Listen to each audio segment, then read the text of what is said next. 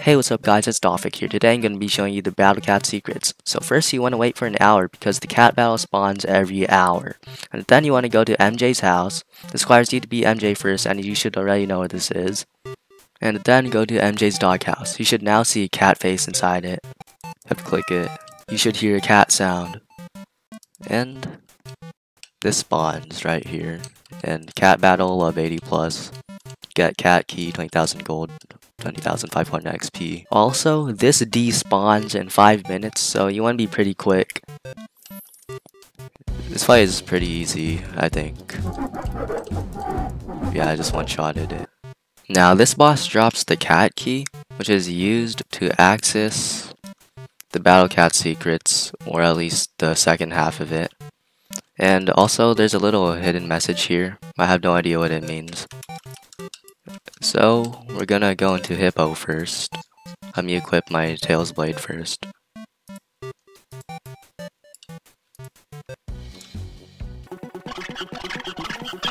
The boss only spawns when you attack the cat base, by the way, so... And you have to kill the boss to attack the cat base. Because if you just attack the, the cat base while the boss is still here, then cat base will just keep healing infinitely.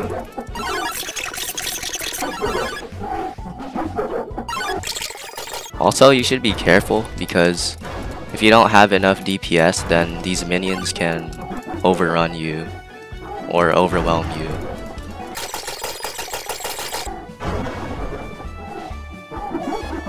Now, defeating Hippo and its cat base will award you the Axe Cat's Axe, which does 20,000 damage at max love. It's not that great of a weapon because it doesn't even multi-hit and it doesn't have any other special abilities, but it's a decent weapon I guess. Now for the crazed one. I recommend buying twin fingers because they really help in battle because you're gonna need to heal a lot. This is my loadout Insanity Soul, Tails Blade, and Shadow Shell. You don't have to use the exact loadout I use, but this one really worked well for me. And this is only for solo loadouts. If you're doing it with a raid, then you do you. Here I'm taking damage so that I can charge up my Insanity Soul because the more damage you take, the more heals you get. I forgot to mention this, but I'm actually maxing out my damage boost to be safe. Now I'm waiting for the right time to strike. You can also kill all the minions because they can be a nuisance if you're fighting the crazed cat. The spawn limit for the Doge Darks is 23 by the way.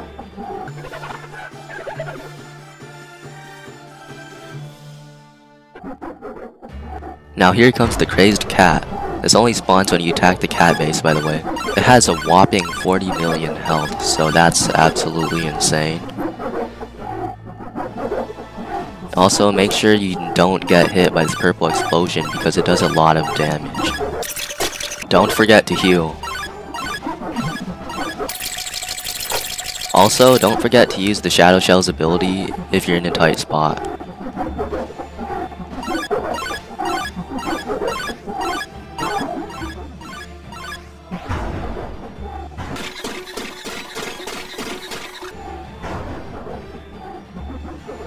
Now, the crazed one drops Jamiera Cat's shirt, which is uh, the armor that gives the most HP in the game currently.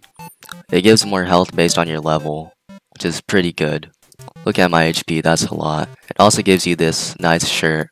Again, with that message, I have no idea what it means. You can get the Crazed Cat's soul at MJ's shop for 6 fragments, 100 million gold, and 20 resets.